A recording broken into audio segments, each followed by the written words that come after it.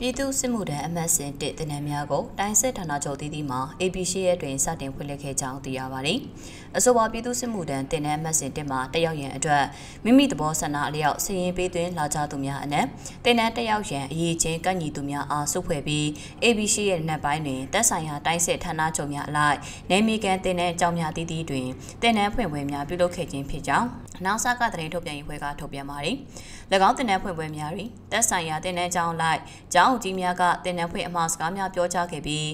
တိုင်းဒေသကြီးနဲ့ပြည်내ဝန်ကြီးချုပ်များတိုင်မှုများနဲ့တာဝန်ရှိသူများကဖွင့်ပွဲသို့တက်ရောက်ခဲ့ကြောင်းသိရပါတယ်။တင်နန်းဖွင့်ပွဲများအပြီးတွင်တိုင်းဒေသကြီးနဲ့ပြည်내ဝန်ကြီးချုပ်များတိုင်မှုများနဲ့တာဝန်ရှိသူများဟာတင်နန်းအကြောင်းခန်းမများမှာပြည်သူစစ်မှုထမ်းတင်နန်းအမတ်စဉ်တက်မှတင်နန်းသားများအားတွေ့ဆုံအမှားစကားပြောကြားကာတိုင်းဒေသကြီးနဲ့ပြည်내အစိုးရအဖွဲ့မှတာဝန်ရှိသူများကတင်နန်းသားများအတွက်ထောက်ပံ့ချင်းမြင့်ငွေများပေးအပ်ခဲ့ကြောင်းသိရပါတယ်။ ပြည်သူ့စစ်မှုထမ်းဥပဒေကို2010ပြည့်နှစ်နိုဝင်ဘာလတွင်ဥပဒေအမှတ်29မြင်းဆောင်2010ဖြင့်ပြဋ္ဌာန်းခဲ့ပြီး2024ခုနှစ်ဖေဖော်ဝါရီလ10ရက်တွင်၎င်းဥပဒေအားအသက်ဝင်စေခဲ့ကမတ်လ9ရက်မှစပြီးပြည်သူ့စစ်မှုထမ်းတင်နန်းအမတ်စဉ်တက်မှာတက်ရောက်ရန်အတွက်ဆင့်ခေါ်ခဲ့ရာ